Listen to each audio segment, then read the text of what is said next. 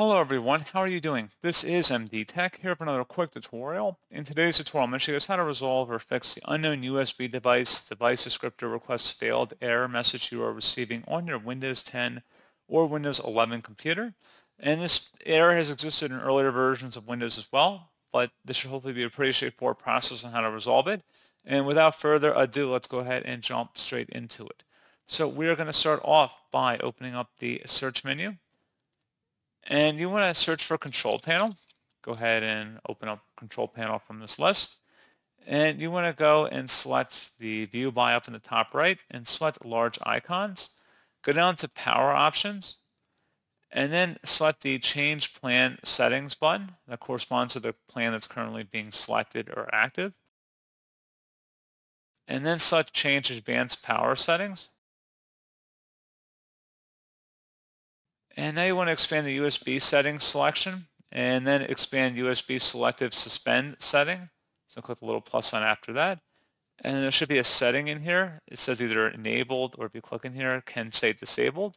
You want to go ahead and select disabled and then select apply and OK. And then you want to close out of here. And now open up the search menu and type in device manager. Best result should come back with device manager. So go ahead and open that up. Let me just make this a little bit bigger here. And you want to expand the universal serial bus controller selection in there. And you want to go and just right click on each of these devices in here one at a time and select update driver, select browse my computer for drivers, and then select let me pick from a list of available drivers on my computer, and then select next, assuming there's only one generic driver, which that's probably the case in your situation. And you just sort of work down the list and do all of them in here the same way.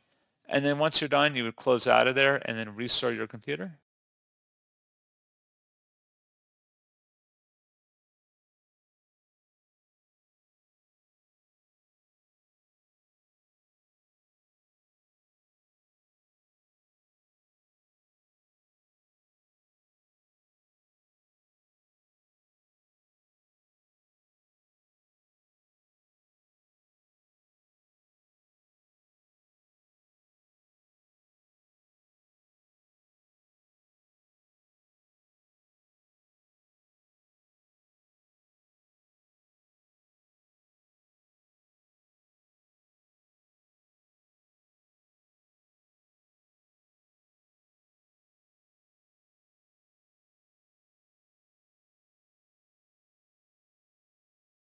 And then hopefully the issue's been resolved. You may want to try plugging the USB flash drive into a different port or a different computer altogether and see if you're having an issue with that particular flash drive, which is certainly a potential cause for the issue.